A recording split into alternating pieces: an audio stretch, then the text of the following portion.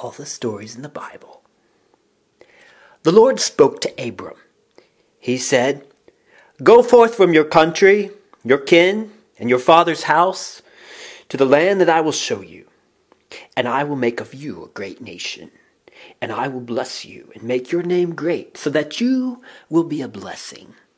And I will bless those who bless you, and to him who dishonors you will I curse. And in you all the families of the earth shall be blessed. So Abram went, as the Lord said, and Lot went with him. Abram was 75 years old when he left that place, when he left Haran.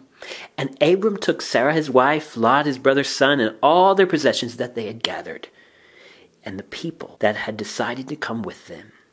And they all set out together to go into the land of Canaan.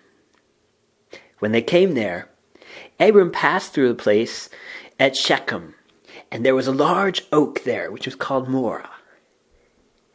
There were Canaanites everywhere in that land. But the Lord appeared to Abram and said, To your offspring will I give this land. So Abram built an altar to the Lord to worship him, because the Lord had appeared to him. But he kept going.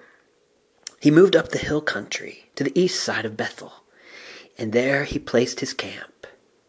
With Bethel on the west, Ai on the east, he built another altar to the Lord, and he called upon his name. And Abram kept going into the desert of the Negeb.